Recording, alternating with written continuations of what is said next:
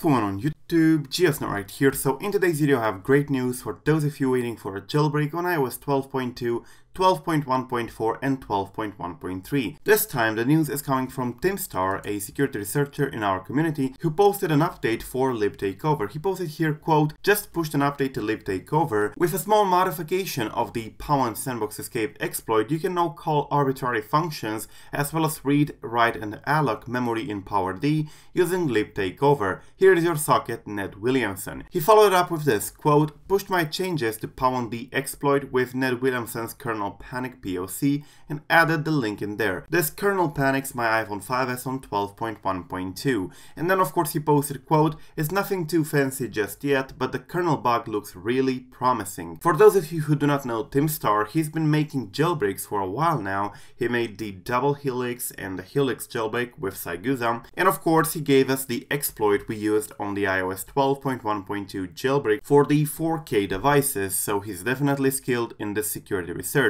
Now the PowerD exploit existed for quite a while, it's been posted two months ago by Hex36 in here. At least this is the earliest project I can find, and of course it's been posted on March 28, and it says in here, quote, Sandbox escape to root for Apple iOS lower than 12.2 on A11 devices, and of course lower. And of course Tim Starr posted his in here, which is basically the same thing, the PowerD exploit with a Sandbox escape to root, but with lib takeover support and kernel panic POC. Now as he in here, the lib takeover basically allows you to control the uh, PowerD, and it says in here with small modification of the PowerD exploit, you can now call arbitrary functions as well as read, write and allocate memory in PowerD. Now what is this? Well, this is actually a pretty good vulnerability. It's basically a sandbox escape and privilege escalation, so it can definitely be used for a jailbreak. However, this doesn't give the TFP0 or kernel task port, so we cannot use it right away without any other vulnerabilities.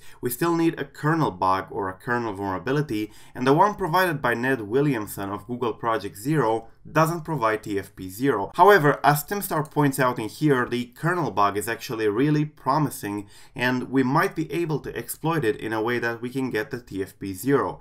However, Ned Williamson did not post anything related to that, and he said that he's not sure whether the exploit can or cannot get TFP0, but he will look further for more bugs. So for the moment, we do have quite a lot of vulnerabilities, including these posted by Tim Starr, which seem to be very, very powerful, but we still need TFP0. The kernel task port basically allows us to read and write kernel memory in order to apply the patches. Now, it's important to apply the patches, especially to escalate our own privileges, and of course to disable various security checks. For example, if you have a process, the application that you use for jailbreaking, you may want to escape the sandbox, you may want to give yourself root, and you may even want to basically change your entitlements, you know, that are used by Amphy or Apple Mobile File Integrity. In order to do that, you need to change your record inside the kernel, which basically contains a process structure which contains all your information, including your effective unique ID, your real unique ID, and so on,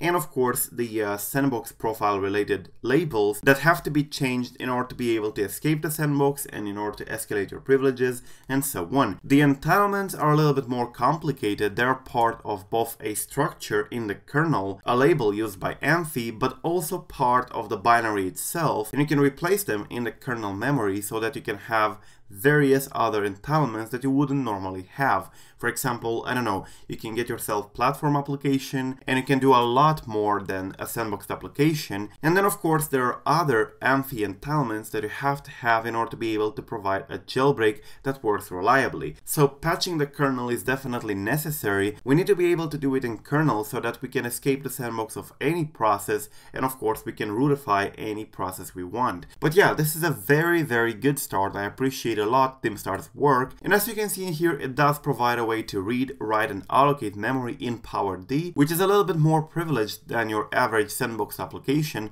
so it's definitely a good idea. Anyways, that's pretty much it guys, thank you for watching, do not forget to subscribe to stay updated, I'm GeoSnow, and until next time, peace out.